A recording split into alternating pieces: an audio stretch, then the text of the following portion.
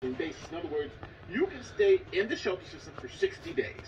Hopefully, you can get yourself together Listen. and find a place to live. Now, the city also tries to help you find a place to live, but if you don't within those 60 days, they evict you out and then allow new people to come into the shelter So shelter they can get and more give them that De 60 days so they can find find housing.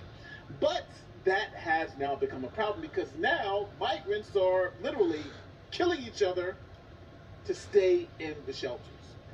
From a human crisis in the Middle East to a human crisis in New York City, about 40 families of asylum seekers tomorrow must leave their homes.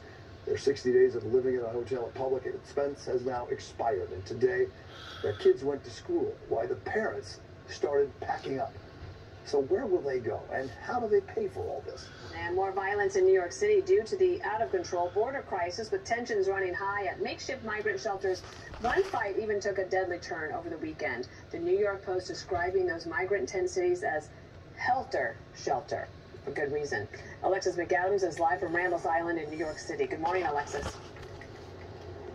Hey, Dana. Yeah, a lot of things unfolded over the weekend with the migrant crisis here in New York City. We can tell you one migrant here on Randall's Island was stabbed at least one time in his torso. He was rushed to a local hospital, but he didn't make it. Take a look on your screen. This is where it all unfolded here in Randall's Island on Saturday night, just after 2024 Trump. o'clock there. This guy. Happening right outside of that migrant shelter. And remember, Dana, these were sports fields, right, for kids? Well, they're now home to these massive migrant facilities. You can see there police are responding to the area It's after the guy up. was reportedly surrounded and attacked. Investigators say he had more than one stab wound, and it was a 27 year old migrant who was arrested for this fatal stabbing, now charged in connection to this incident. So this came So we're gonna have to pay to house him in our US jail. migrant center in New York City.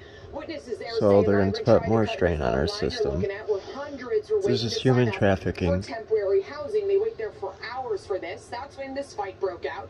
Two NYPD officers were injured in the incident, and at least two guys face charges in that case. Okay, so I want I don't want to be heartless. I don't want to be heartless.